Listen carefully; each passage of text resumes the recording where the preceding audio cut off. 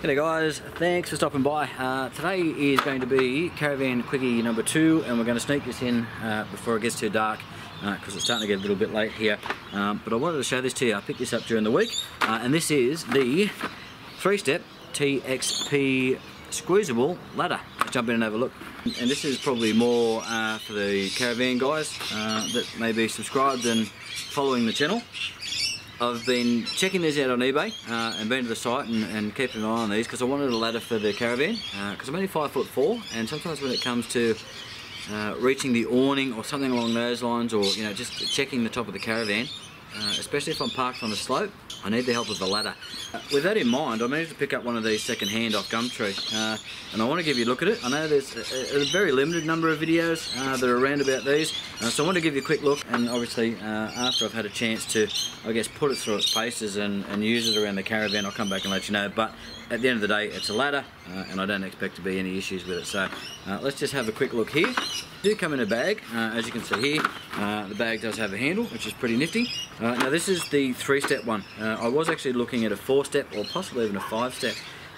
But in retrospect, I'm glad I actually went with the three because uh, this is going to be big enough, I think. They're pretty lightweight. Um, I will throw the specs up down the bottom uh, or on the screen here somewhere uh, so you can have a look, which will include the height and the weight of these things. It's a little bit heavier than I thought it was going to be for an aluminium. There is a little bit of a compromise, obviously, between weight and sturdiness. And having a look at this, I think they've reached sort of a good compromise. Uh, I think it's pretty reasonable. Taking it out of the bag and when packing it away, Put it in top first, so the feet are at the bottom.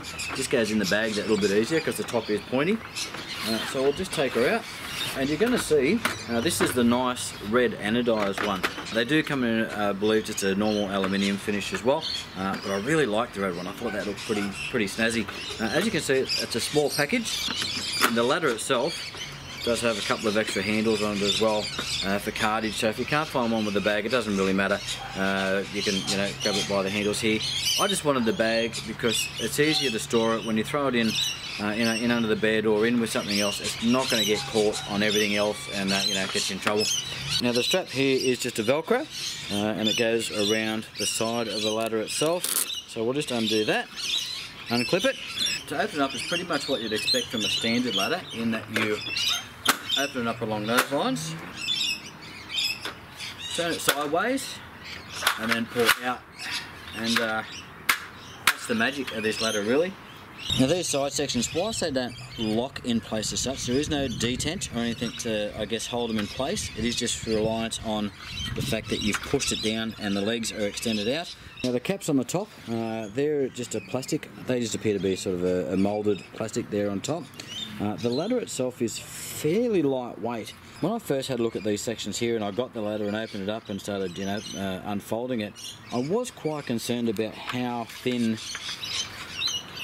these sections were. Uh, and you can see it's not the most rigid, uh, but when you do lock it in, it does lock in and become nice and solid.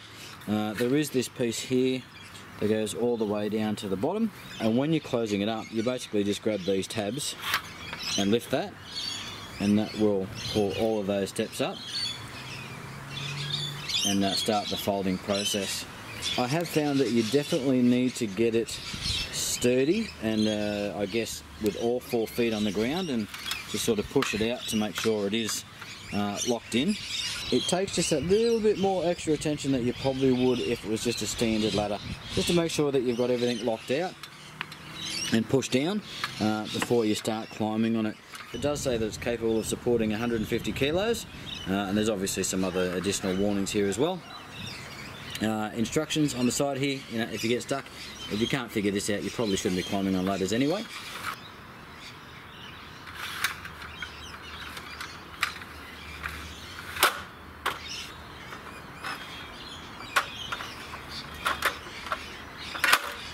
Packing this up, uh, the one piece of advice I've got there as well uh, is these will sometimes slide out like that and you'll be wondering why you can't get it in the bag because this is sitting proud of the actual ladder itself.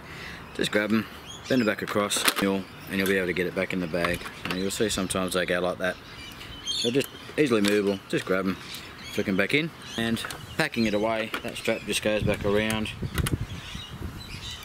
through the loop. Now pull that nice and tight uh, because if you've got this just over the back of the car or somewhere like this, it rattles like an absolute mongrel. so uh, tighten that Velcro up nice and tight. Again, do it upside down, take the top because it is uh, pointed. Goes back into that bag much easier than uh, trying to feed the feed in. Just watch these points uh, because they will overlap the bag and you can get caught on those so just drop them in both sides and she just slides on in. And all up that bag's a good fit. Uh, it's not too bulky but it's not too tight either that you can't fit it back in. Also made to fit into your tent pole holder. Uh, my tent pole holder is absolutely chockers with um, you know the the center spreader and stuff for the awning and whatever. So it's unlikely that this is going to get in there. This is more than likely going to get stuck under the bed uh, which is where most of my storage is. Uh, but I'm pretty happy that this is not going to take up all that space. But I did take this to work and show the guys who have caravans uh, and I think they're all going to go out and get one. Everybody's pretty happy with these and pretty impressed especially with the color love the red. The TXP ladder uh, this is the three stepper they come in a four and a five. If you can grab one at the right price or if you're happy to pay full price if it means a bit more to you than it did having a ladder than it does to me uh, this was more just a little bonus. Uh, I, I, can tend to climb around other things, uh, throw down a milk crate or something like that. Uh, but when I spotted this for basically half the price of what the retail is, I grabbed it and pretty happy with it. Thanks very much for coming along on this one guys. We'll catch you on the next one.